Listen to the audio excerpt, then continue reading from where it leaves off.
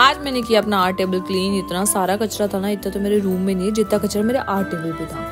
और फिर मेरे जो कलर सूख चुके थे, उन्हें मैंने हटा दिया टेबल से, फिर जो मेरे पेन पेंसिल से, उन्हें मैंने चला चला के देखा कि भाई कैसे चल रहे हैं ये। जो सही थे वो मैंने रख लिए, जो नहीं सही थे वो मैंने फेंक दिए, हटा दिए मेरे ज़िंदगी से, मेरे टेबल से। और चलो फिर मिलते हैं नेक्स्ट वीडियो में। Okay bye